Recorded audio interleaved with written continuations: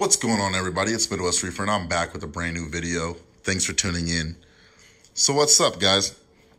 It's been a long time since I put out a video, and that's mainly because I haven't really done anything too new. And, you know, my channel isn't necessarily an entertainment channel, you know. Um, it was more of a follow me while I do this journey, something I haven't done channel. I'll tell you what's good, I'll tell you what's bad, I'll tell you what's worth the money and hopefully you can avoid making a little less mistakes than I did starting out reefing. That's what my channel does. So with that being said, there's not going to be something new that I do with my tank every week. And to put a video out just to put a video out, it doesn't make a whole lot of sense to me personally. You know, I have a lot of other things that I do. I race RC cars and planes. I play a lot of instruments. Of course, I love gaming. Who doesn't like gaming? I like building custom rigs like my water-cooled PS4. That can be for another video. And, uh, you know, I, I train dogs too. So it's like reefing is just one aspect of my life. You know, I have ADHD, so I constantly am, in, am doing a lot of different things. And reefing is just one of the things that I gravitated to and wanted to be successful at. And I've done that. So I've slowed up on the videos, but I'll do request videos. And as a lot of you guys know, I still do comment on my Instagram and I still comment on YouTube. You guys subscribe to me every day. I've hit 600 subscribers, which means giveaway time. That's right. If you guys watched a few of my videos, um, earlier I talked about doing a giveaway. I'm not going to talk that much details now because that defeats the purpose of doing the giveaway video. Um, the media basket broke. Long story short, the media basket broke. So um, I was going to give that away at 600 subscribers, but since it's broke, I'm going to go straight to the current Orbit Marine Light that I was going to give away at 800 subscribers. The only thing is, I don't know how to give it away. You know, I've never done a giveaway. I'm not a big YouTuber, and it's coming out of my own pocket to ship it. So, what do you guys think? You know, if you have an idea, maybe I should do some trivia where you guys have to try to remember something I said from an old video, or maybe I should, I should just do a random generator. I don't know. But I will be giving that light away because I promised you guys I would. So thanks for 600 plus subscribers. I'm so grateful, especially from a bum like myself that isn't putting out content every week. I really appreciate you guys gravita uh, gravitating towards my videos. Um, I was just going to talk briefly about the tank and kind of give you an update since I've had the tank for some months now and I can better convey this new stuff that I bought. As you guys know, I changed the whole setup differently from the Fluval and only kept a few key, uh, key things. So I'm going to talk about the tank in a whole and then those key things that I kept. So let's go ahead and take a look at it. Okay, so the tank itself, beautiful.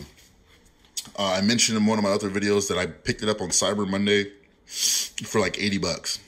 And at full price, I think the tank's only 100 bucks. It's worth it. The stand, I don't know. The stand's 250. I don't expect everybody to go buy that, but for 100 bucks or 80 bucks, I mean, the glass is nice and thick. The silicone edges are perfect. I mean, dimensions are perfect for a nice little living room or bedroom tank.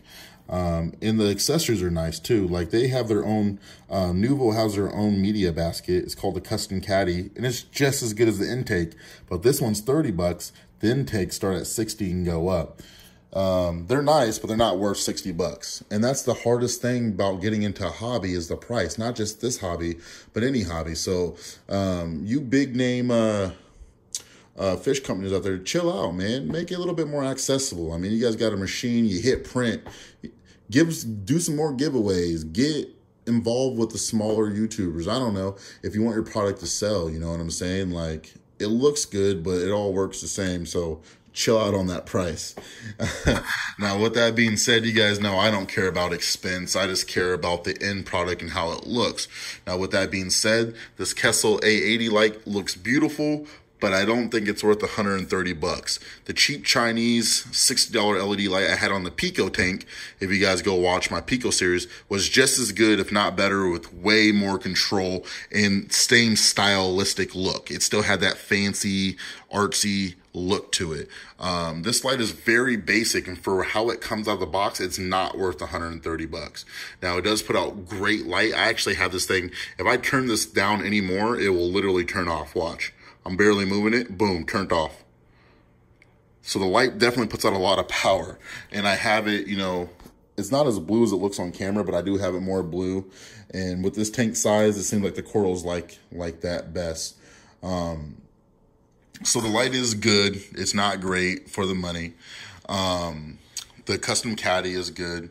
Um, the tank overall is a beautiful tank. It's an amazing tank actually for the money, and I really dig it. Um, I did go ahead and get rid of the spin stream. Um, uh, you know, the, the return pump nozzle that spins around.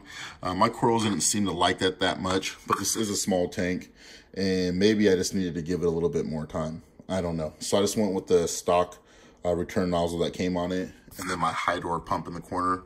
This Hydor Pico pump, I think it's like 180 gallons. This is like this, it might be even less than that. It might be only 90 gallons. But it's the only pump that looks good in here. The other ones are just way too darn big, and it just takes away from the tank. So I went with this guy here um, that I had on the Pico tank. Um, everything's organized as usual. You know, I have my Aquascape scraper for the algae and stuff in the corners and the bottom of the tank. Have my nano flipper uh, magnet. Got two little fishies magnet over here. And we got the thermometer over there. Um, now, as far as the things that I, everything's new on this tank as far as the coral and the setup itself but there's a few key components that I, I, will always use on any of my tanks. One of them is going to be an auto top off. I have the micro um, auto aqua top off and it's pretty straightforward. You just have a sensor right back here in the tank where my thumb is. There's actually a blue light, but you can't see it because everything else is blue. And when the water drops below that sensor, it kicks the pump on where I keep my RO water and boom, my salinity is back in check. Of course, I do check it periodically with my refractometer too, just to make sure. And it's always pretty good. Um, another thing that I always keep on my tanks, other than auto top off, a lot of people bypass is a battery backup. Especially if you live in the Midwest area like me, where you get all different types of weather. Um, it's good to have a battery backup, especially if you have expensive fish or coral. Uh, essentially, um, I have just my pump, uh, my my Hydor pump and my heater hooked up to it. And the reason why is because those are the two most important things in the tank. Uh, the, the fish will be all right without light. The fish and coral will be all right without light for a few hours or a day. Um, they'll be all right without filtration for, you know, a day or a few hours. Um, but they need oxygen in the water, so that's why I keep the pump agitating the water. And of course, the temperature does need to stay pretty close to the temp that they need. So those are the things that I have set up on my battery backup. So, you know, and then and then the third thing that I keep on all my tanks is a timer. If the light itself doesn't have a timer built into it, um, then I just get one of the simple plug in the wall time timers, set it for, you know, the hours that I want and you're done. Um, I don't do a ramp up time or a ramp down time like I did on the Fluval anymore. And I cut back how long the tank used to come on at like eight in the morning and it would do like a little sunrise and then it would be on all day and then it ramp down at like nine o'clock at night. It was nuts. Um, but I had a lot more algae. This tank doesn't turn on until noon. The reason why is because I have a little natural light that sneaks through my my deck and um, I'm at home. I leave work in the morning, so who's looking at the tank? So the, the tank lights don't come on until noon now and then they turn off about eight o'clock, nine o'clock. So I definitely shorten shorten the time and try to keep the lights on when I'm actually home to enjoy it, and when I'm not, you know, have them off. So I didn't want to keep this video too long, but I just want to let you guys know what's up. You know, the tank is empty right now. Um, and I'll talk about that in a later video, but I did buy some new fish. They're on hold at my fish store, and I will be picking them up today. So I'll make another quick video for that. Thanks so much, guys, for watching, for the subscribes, uh, for the comments and the love. Like I said, I will be doing a giveaway video soon, um, so stay tuned for that. And don't forget to like, comment, subscribe. Peace out.